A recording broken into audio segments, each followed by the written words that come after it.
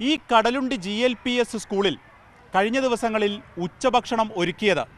കുട്ടികൾ വീട്ടിൽ നിന്ന് കൊണ്ടുവന്ന പച്ചക്കറിയും നാളികേരവും എല്ലാം ഉപയോഗിച്ചാണ്. അതിന് കാരണം സർക്കാരിന്റെ ഫണ്ട് ബാങ്കിലെത്തിയെങ്കിലും അത് പിൻവലിക്കാൻ അധികാരപ്പെട്ട ഒരാൾ വേണ്ടേ? അത് ഈ സ്കൂളിലില്ല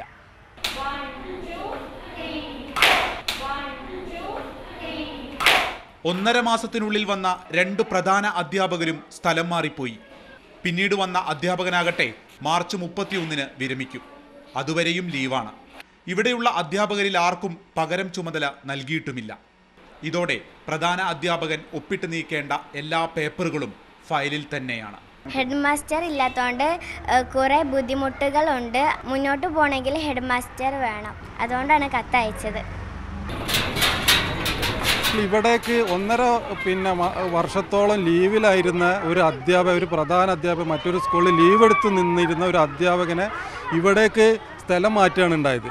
ഇങ്ങോട്ടേക്ക് ട്രാൻസ്ഫർ ആക്കി കൊടുത്തുകൊണ്ട് ഇവിടെയുള്ള അധ്യാപകൻ ആ സ്കൂളിലേക്ക് ട്രാൻസ്ഫർ ആക്കി കൊടുക്കുന്ന നടപടിയാണ് ഇവിടെ ഡി ഡി എടുത്തിട്ടുള്ളത്. അപ്പം അതിനെതിരെയാണ് നമ്മൾ പരാതി കൊടുത്തത്.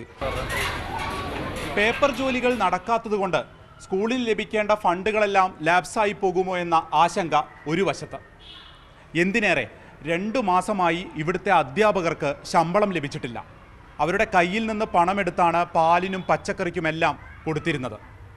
വിദ്യാഭ്യാസ വകുപ്പിന്റെ ഭാഗത്തു നിന്ന് ഉചിതമായ ഒരു നടപടിയാണ് എത്രയും വേഗം ഉണ്ടാകേണ്ടത്. ടി കെ ജോമിനൊപ്പം വിപിൻ സി വിജയൻ മാതൃഭൂമി ന്യൂസ് കോഴിക്കോട്.